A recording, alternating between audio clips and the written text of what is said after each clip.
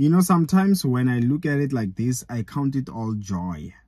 When someone does not believe in me, when somebody rejects me, and then tomorrow I wake up and things are smooth for me, that makes me to see that if they had accepted me out of lies, out of pretending until I make it, I was gonna be convinced that this person is genuine because they were there before I had everything. You know what I mean?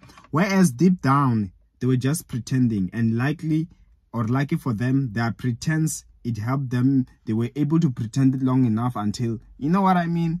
Listen, whoever never believed you, whoever is in tears, may you not fall to any trap of fake people in your life. In Jesus' name, amen. And see you next time.